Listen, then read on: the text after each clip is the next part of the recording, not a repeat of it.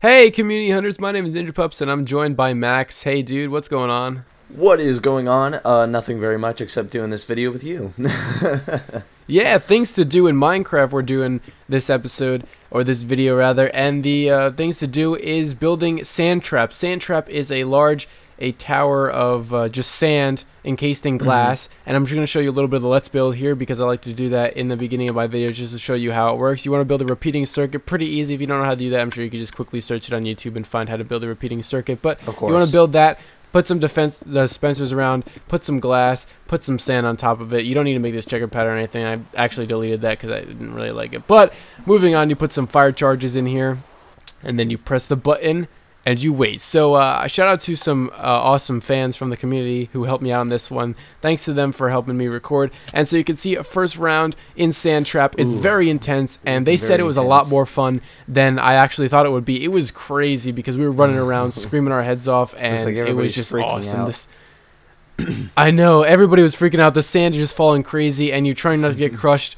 Um, a degree of difficulty can be added when you have the dispenser shooting fire. You can see first-person view there. This these uh these footages don't oh say, God, even these footages. Does that even make sense? But that footage and this footage don't sync up. this, so don't. This must have been well footage, thought obviously. out. I mean, look at all this crazy stuff that is going on here. Look at all this.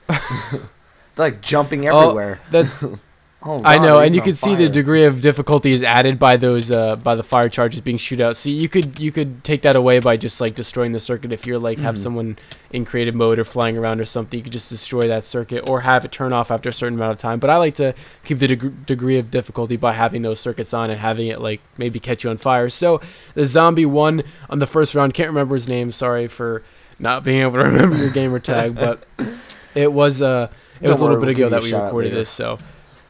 Yeah, shout out to your name. You know who you are, the zombie person. All right, next round. Here we go.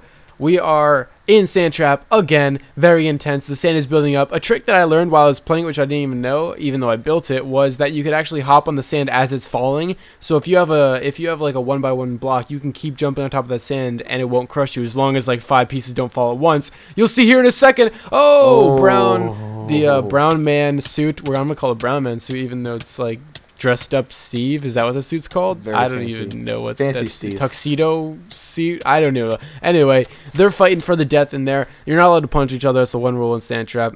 Oh, this guy makes it. Don't know your name either. Just you made it. Congratulations, Sand Trap. Trap. look up these names. I know. I'm gonna have to like shout out in the comments. But thank you guys for watching. Sand Trap. Peace out. Bye bye.